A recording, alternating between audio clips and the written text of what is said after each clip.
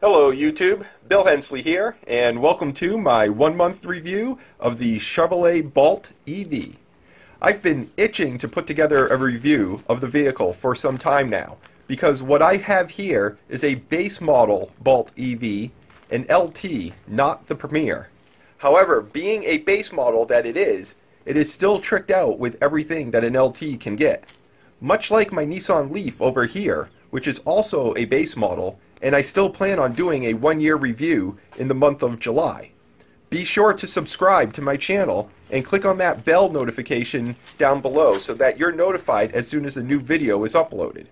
But for now, I'm going to cover all of the cool features that the Chevrolet Bolt EV has to offer and our impressions of the vehicle one month in to our ownership.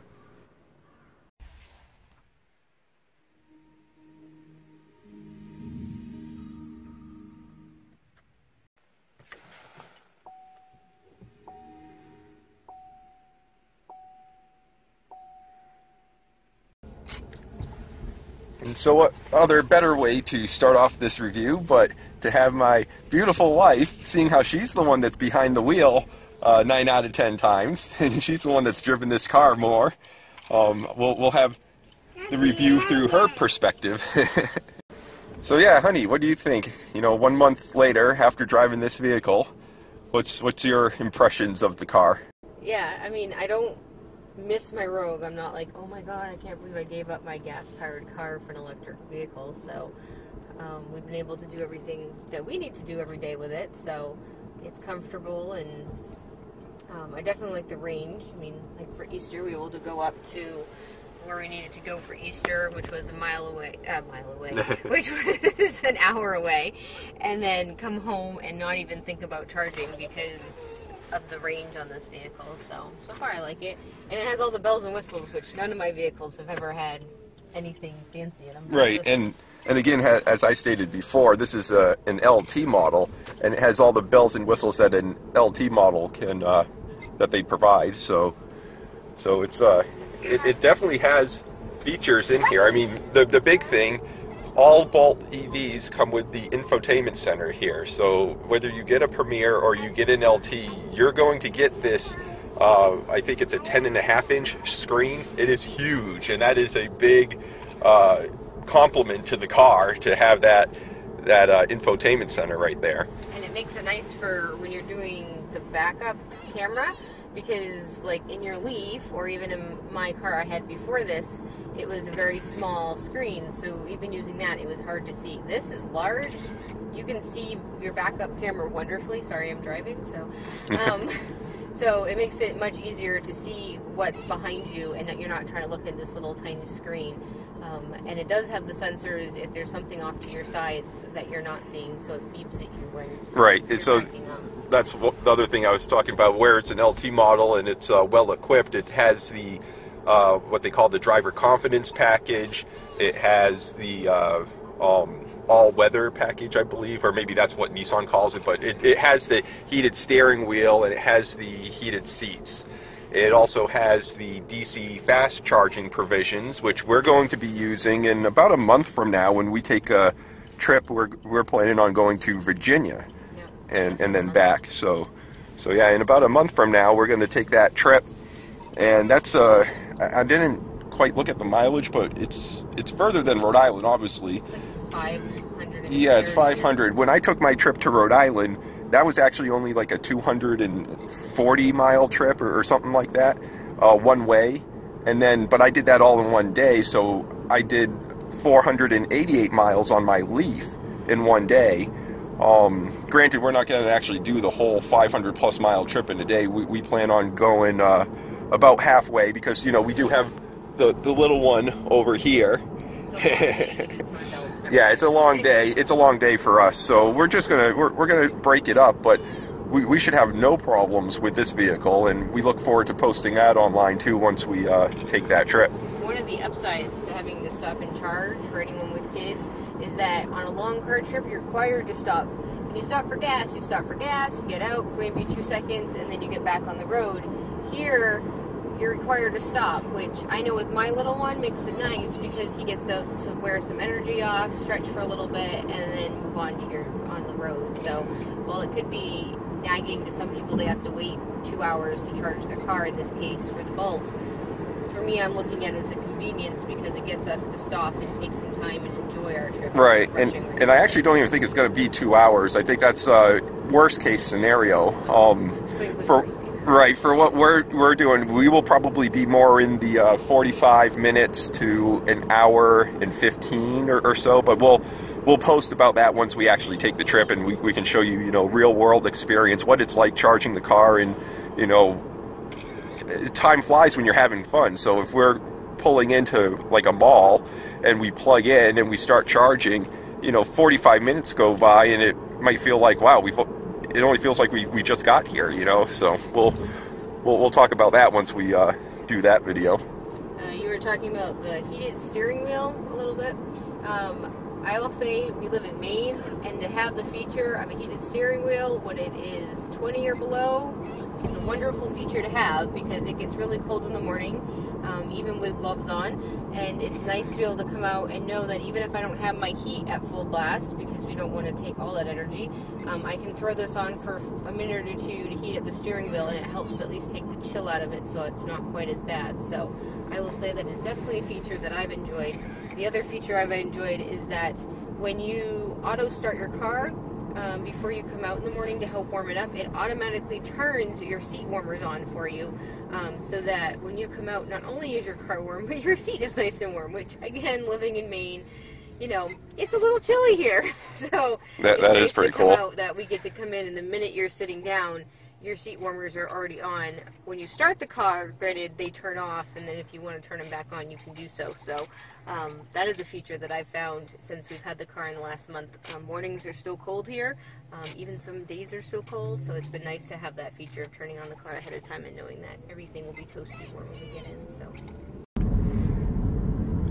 another feature that I found I liked. Um, granted, I'm not an electric car person. This is my first electric car. Um, Granted, you've had one and I have not, but I didn't drive yours a whole heck of a lot before I had this one.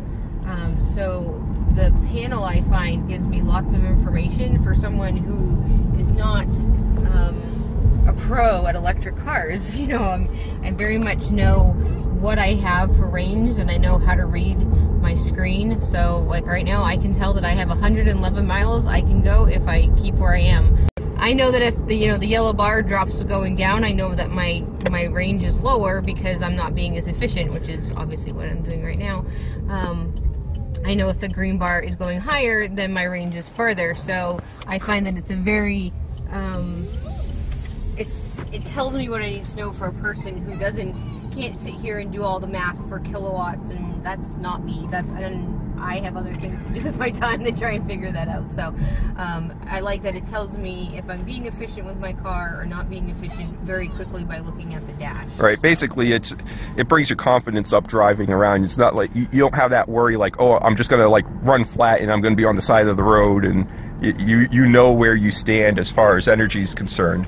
And then like this screen right here, which I absolutely love, you, you can hit the energy screen and go to this right here, and it'll just show you like what what your capacity is with this visual right here. So I, I love that. That that's that's pretty cool. Uh, one of the other features we found that is a little bit more fun in this car is that we do have the option with our phones to use Android Auto. Um, the one downside is with Android Auto, you do have to have it plugged in using a USB cord instead of just using your Bluetooth. So you have to actually remember to plug it in, which on my downside is I forget to do that a lot. Um, granted, I'm in the car very for very short bursts, um, so it doesn't usually make a big difference. However, when you do have it plugged in, what's nice is I have a button here and I can talk to it and say, "Hey Google," which Ben thinks is a riot and tries talking to my car all the time, um, and he actually says, "Hey Google." Um, and you can talk to it as if you're talking to the phone itself or using that kind of feature you know tell me a joke or look up an address and give me directions and use google maps to tell me where i'm going so and it puts it on this nice uh, display screen so it's nice and large and you can tell where you're going um, and you're not squinting at it so if you find that oh we're going to not go where we originally thought. It's very easy to, to ask it for new directions. Um, so we've we'll certainly be using that on our trip down to Virginia, and we'll have more information to come. But for the little that we've used it around town or just to test it out, I've liked it so far. Like I said, other than the fact that I keep forgetting to plug the phone in, um, just because I'm. and that's and that's just for the Android Auto. The Bluetooth is automatic; it, it picks up, and even if you forgot to plug it in, uh, you would still get your phone calls. Your phone calls and stuff would come through. So it's not like the phone wouldn't work. It's just if all of a sudden you decided you wanted to plug in a destination, unless it's plugged in, you wouldn't be able to do that until you pull over and plug in your phone or have your passenger like me. Which you know what? I think I'll plug that in right now so we can get a visual of what the Android Auto looks like on on the display here. So I just plugged in her phone right here and it's actually initializing automatically, which is cool. So give it a second and you'll see the uh, Android Auto pop up here. There we go. So, uh, and it it already says that we are 11 minutes away from home because we've just been driving around here. Well, it also saves your home address, which Yeah. is nice. So the first time I ever told it to go home, thinking it knew what my address was, it said it didn't have it and asked me what my address was, and now it saves it. So all I have to do, in this case, is it automatically brings it up, or I can say directions to home if I hit the button, um, and it will take me home. So that's nice that it saves it. I don't have to keep telling it my address over. So in order, since I'm driving and you don't want to be touching buttons on your screen, which is you can do it that way, but I, you know, kind of like keeping my eyes on the road.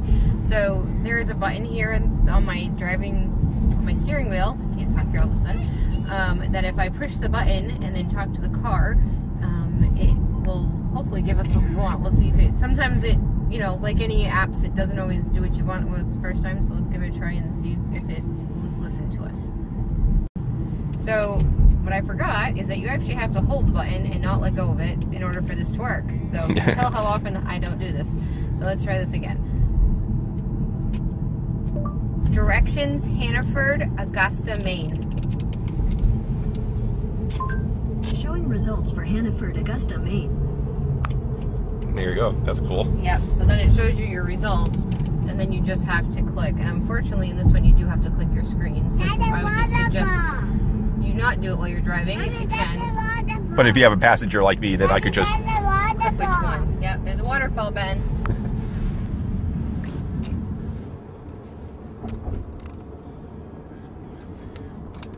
Okay, so once you have your directions in, it like it, I like it because it's on the screen. It's nice and easy to view.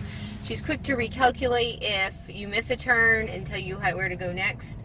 Um, unlike past GPSs where they seem to take forever um, to recalculate sometime, this one I find is really quick. Um, we were even up um, and going towards Farmington recently, and she didn't like where we were trying to go, which was our normal route. And even though there was low cell signal, she still really quickly recalculated and, and chose a different route for us, or where she at least thought she wanted us to go.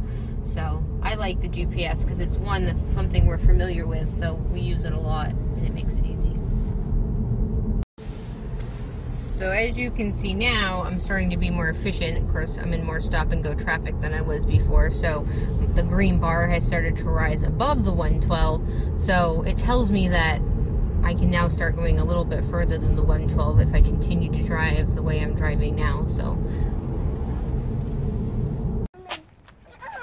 So one of the things that I like is that it's easier for him to get in and out of his seat. Um, it's a flat floor in the back without the hump, so it makes it so he's not stumbling, stumbling over it and tripping usually. Um, and it's just nice and flat. and It makes it easier for him. Sorry, he's running off. It's all very important. So the trunk so far we haven't used a ton. Um, we've done a groceries and that's pretty much it. And so far I find that it works. Our true test will be when we take our vacation here in a month to see how it fits everything that we're bringing. Considering we are bringing a stroller plus suitcases and everything else you would need for vacation. So that will make this a little more interesting to see how it works. But for what we use in our life so far, this works perfectly fine. And I can reach it and close it even though I'm short. So. So now that you've heard from my wife and the features that she likes about the vehicle, what about some of the other techie features that this car has to offer? Other than the massive battery, which gives you the range that my wife particularly likes, what are some of the other uh, features that this vehicle has to offer?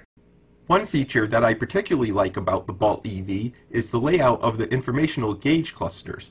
I love having the digital speedometer front and center, and the size of it is absolutely wonderful. To the right, you can see the power consumption and the regen gauges. This is particularly useful when driving in L mode, as I love being able to see how much energy is being put back into the battery when coming to a stop or going down a large hill.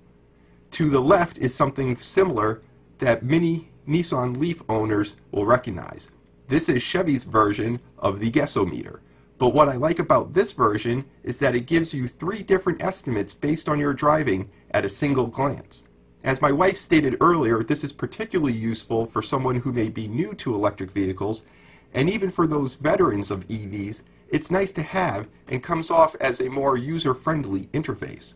On top of all of that, the entire interface is customizable as well. With a few clicks of the directional arrows on the steering wheel, you can select different things to be shown underneath the speedometer. Would you like to display your radio stations instead of the tire pressure or tripometer? With just a few clicks, you can change up the display to your liking. And then you've got the center console display, or the infotainment center. And this, this is great. This is completely customizable. You can put whatever information you want to be seen here at all times. And one of the things that I like is the energy menu, and it will tell you a whole bunch of information about the batteries, their state of charge, uh, graphics to show you how much juice is still in the batteries. Um, what, some of the things that I really like, like with the charging, you can set the amperage. If, if you're on a level one, which we're not, we, we are on a level two in our garage. That's what we have hooked up. But if you are just charging off of a standard uh, 120 volt electrical outlet, you can actually change the uh, amperage so that you don't trip a breaker by uh, dropping it down to 8 amps versus 12. So that, that's pretty cool. And here's another cool feature that I like, and at least with my car, because of the software version that I'm on. And if I and I'm just going to show you the techies out there that if uh, I go to settings and I go down to oh let's see here software information and I go to software update over the air right now, it says that I'm up to date. It says that I am on version 14.1.0. Now, I know there's been some other versions that have come out, and it's addressed a few things, but nothing major. Uh, one of the things was the Android Auto is now full screen, going from here to here. But if you saw earlier, there was like a slight black bar that went down either side when the uh, GPS was running and we're fine with that. We would love to get it full screen, but we found out that if we do that, we would lose uh, playback of MP4 files, and I don't know why that is. And I've been trying to talk to Chev- to to Chevy about what's going on there, and I haven't got a straight answer. So right now, I'm just going to stay on version 14.1.0. If you take a uh, USB flash drive that is formatted in the FAT32 file format I have some MP4s that are loaded up on this flash drive, and you'll see here in a moment, right here, I can click on the movie tab, and I can click on my disc, and I've got movies on here. So I can click on any one of these movies here and watch a video in the car. And this is going to be particularly helpful, especially on our trip that we take, because if we do have to sit at a fast charger, we can, uh, with with uh, Ben with us, we can watch a movie here right on the uh, screen. And I think that's awesome. I don't know why they've taken that away, if it was deliberate or if it was accidental. And I've been trying to talk to Chevy about that. Like, why, why is this not a capability anymore?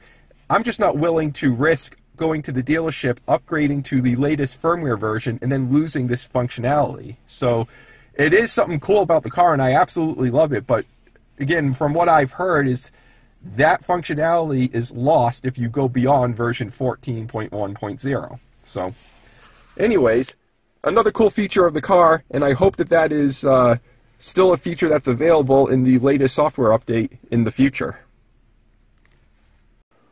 And that's pretty much it. If you've enjoyed this video, please like, comment, and subscribe.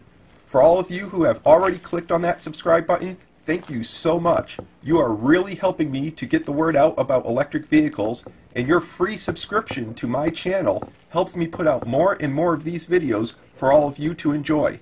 So again, thank you so much for supporting me in this channel. Until next time, I'm Bill Hensley, and thanks for watching.